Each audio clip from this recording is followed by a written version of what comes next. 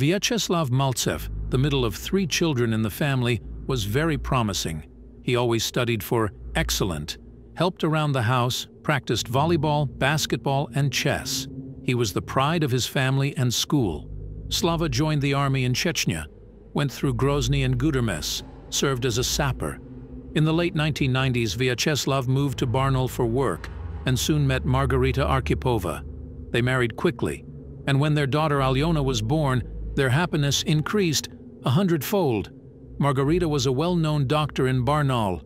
In September 2004, when Alyona was four years old, she went on a call to the village of Berezovka, did not return, the accident instantif. Slava held on, there were no other options, the child in his arms. For some time he lived with his daughter and his wife's grandmother in Barnaul. Then he returned to Cheremnoye, where he was born. Now Elena is 23 years old, studying in Tomsk at the law school. She was going to come to visit her daddy in July 2021, but she will never see her daddy again. As I said, Vyacheslav Maltsev is the pride of his family and school. Somehow a few fours slipped through on his certificate. No one doubted. Slavka, so his sister calls him all the time, will go anywhere. Elena's sister Slava, on the verge of crying, recalls, This is a family legend. Only mom knew it. Slavka did not enter the institute because he helped the girl and did not have time to do his assignments. She got in. Slavka went to the army. Almost immediately after his enlistment, he found himself in the war zone in Chechnya. I had him through Grozny and Gudermes. He served as a sapper. In December 1995, he received a bullet wound in his arm. He spent a month in hospital, then returned to the front, says Lemyakina. Elena and Vyacheslav are 10 years apart. When he went off to war, she was eight. The woman continues, I remember I was 10 years old, sitting on the porch with a book. I saw a motorcycle coming with a crowd of people. I didn't recognize Slavka at first. He was a skinny young man, a boy, a handsome man came back. I threw myself on his neck, then ran home. Mom! Slava's back. After the war, Maltsev did not have post-traumatic stress disorder or any problems with socialization, as his sister clarifies. He adapted to peaceful life quickly. He worked at a sugar factory in the village of Cheremnoye, Pavlovsky district. My mother also worked there. However, he did not stay there for long, deciding to move to Barnaul, where he met the previously mentioned Margarita Arkhipova. After her death, he returned to his homeland, while his daughter remained in Barnaul. He was always the soul of the company. He was a fun-loving guy. We didn't notice any inclination to drink alcohol either. At most, he would have a drink on holidays, and not much of it. In 2017, Vyacheslav got together with Galina Tenyaeva, a resident of the village of Cheremnoye, the choice of Maltsev's relatives did not please them. However, Vyacheslav's loved ones in his personal life did not interfere. It was not me who brought you together. It is not for me to divorce you, thought his mother, Tamara Yurievna. I always told Slavka, you were and still are a brother to me, recalls Lemyakina. But know this, with Galina, we will not become girlfriends. The relationship between Galina and Vyacheslav Elena calls no other than stormy. He repeatedly went to his mother's house for a while, but eventually returned to his common-law wife. My sister and mother were worried and advised me, Slavka, you should leave her. And he was sincerely surprised. Why do you dislike her so much? Such a wonderful woman. Maltsev and Tenyaeva lived in her house, the same place in Cheremnoye, from time to time, Galina was visited by her mother, Lyudmila Alexandrovna Martinova, hereinafter the names have been changed, editor's note. At the time of Vyacheslav's death, she was 76 years old. According to Lemyakina, Lyudmila Alexandrovna did not miss an opportunity to scandalize. She started with complaints about her daughter and continued with her dissatisfaction with her common-law husband. After Chechnya, Slava was generally against any kind of conflict, he never got into any fights, never wanted to quarrel, Elena says quietly. The same was true of relations with his mother-in-law. Galina admonished, Slava, you stay out of it. She'll yell and leave. I'll take care of it myself. The man did not interfere. July 1st, 2021. Martinova once again decided to visit her daughter. Vyacheslav was at home. This time the cause for conflict was an alcohol bottle, which Lyudmila Alexandrovna saw in the trash can in the kitchen. She became indignant. Moreover, addressed to Maltsev. Explanations of Galina Tenyaeva from the materials of the criminal case. Martinova stayed at my place for about an hour, without stopping to express words of her displeasure against Maltsev. He did not say anything to her in response, did not approach her, did not touch her, did not utter any threats, did not show any gestures. After leaving Galina's house, Lyudmila Alexandrovna called her son Konstantin and youngest daughter Olga. She said that she had been offended by Maltsev at Tenyaeva's house. He shouted, threw and even kicked her. The next day, July 2nd, around 9 p.m., the couple was again visited by uninvited guests. They are the future defendants in the criminal case. Konstantin Baryshnikov is Galina Tenyaeva's half-brother, 42 years old, not married, not working. Olga Tokareva is Galina Tenyaeva's half-sister, 41 years old, single, unemployed, has two minor children. Yegor Udaltsov is Olga Tokareva's son, 17 years old. They arrived, according to Tenyaeva, already drunk. Udaltsov even tripped on the threshold when entering the veranda. They had a bottle of alcohol with them. At that time, Vyacheslav was lying on the sofa watching TV. When he heard that guests had come, he moved to an armchair and began to get dressed. He didn't get out of the chair again. It follows from the materials of the criminal case available to the editorial office, editor's note, that Yegor Udaltsov entered the room first and began to wrap black boxing tapes around his hands. Tokareva commanded, Come on, son, do it nicely. Baryshnikov seconded, You first, then me. From the materials of the criminal case, Udaltsov delivered a blow to the area of Maltsev's head with his hands Baryshnikov delivered at least five blows to the same area. Also a blow with his feet and a wooden bat to the area of Maltsev's head. It goes on to describe multiple blows to the arms, legs, and torso.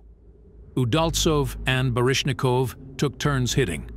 All this time Tenyaeva tried to get into the hall and stop the attackers. However, she was held back, including Olga Tokareva, Udaltsov's mother, she was later recognized as a witness. Tenyaeva heard noises, hissing, popping, sounds of blows. She did not actively resist, fearing for her life. Why did you lift your leg on my mother? She is already 80 years old. You should apologize to her, Baryshnikov yelled to Maltsev before taking another swing. The man was unable to respond. After the first blow to the temple, the man could no longer speak or resist. Several times Tenyaeva managed to get into the room. She begged Baryshnikov and Udaltsov, Stop beating him. How many times can you do it? He is not guilty of anything. Galina saw that Maltsev was covered in blood. His face was swollen. His nose and lips were broken.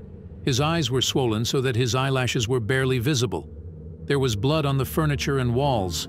A wooden bat, which appears in the case materials, was the main weapon. However, no one saw it at the time of the beating. The first time Galina Tenyaeva noticed the bat was when the three just entered the house. The second time, when it was lying on the sink and was covered in blood. Yegor Udaltsov washed his hands in the sink and rinsed the black ribbons he had previously wrapped around his fists.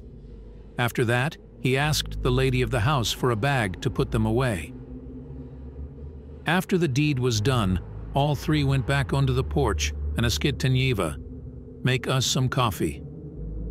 She hoped that if she obeyed, they would not kill Maltsev. As they left, the guests punished Galina. Don't you dare call the police or tell anyone. When we come back, we will kill you. Maltsev's torture lasted more than two hours. When Galina entered the hall, she saw that Maltsev was lying on the sofa covered with a blanket. Having thrown off the blanket, she saw that his face and head were smashed even more severely than before. There were abundant clots of blood and other biological substances on the bedclothes and the sofa. There were also more blood spatters on the walls and the sofa, the criminal case file says. Tokareva, Baryshnikov, and Udaltsov left by cab. The driver was waiting for them the whole time. Tenyaeva called an ambulance. It arrived around midnight. The doctors declared Vyacheslav Maltsev dead. In three months he was to be 45 years old. The man was buried in a closed coffin. From the testimony of the cab driver available in the case file, there were three of them, a boy of about 16 years old, an adult man, and a woman. The boy, turning to the woman, I realized that it was his mother, said, Did you see how I smashed his head with a bat? Such a dialogue took place on the way to Sarai, a small village not far from Cheremny. There they broke into the house of their acquaintance, beat up her cohabitant, and left by the same cab to Barnaul. 35-year-old Elena Lemyakina learned about the death of her older brother on July 3rd, around 6.30. It was a call from her mother. Tamara Yurievna screamed hysterically, Lena, Slavka was killed.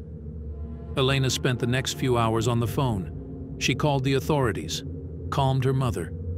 She tried to find out the truth. Until the last, there was hope. Maybe he was just beaten up. Baryshnikov, Udaltsova, and Tokareva were detained almost immediately. There were no other suspects. Galina Tenyaeva told the police officers how everything happened. Later, she officially became the main witness. According to the case materials, immediately after the detention, the suspects gave confessions. However, later, with the support of lawyers, they began to refer to Article 51 of the Constitution of the Russian Federation. Even later, it was alleged that Maltsev was the first to throw his fists at Baryshnikov and the miner Udaltsov.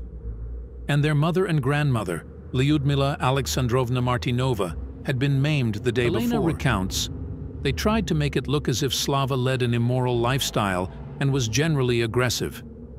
They tried to make it look as if Slava led an immoral life and was aggressive in general. To confirm this, on July 5th, the day of Vyacheslav's funeral, Lyudmila Alexandrovna went to the local district doctor for a certificate of beatings. The doctor found several fresh bruises and abrasions, as if they had appeared yesterday.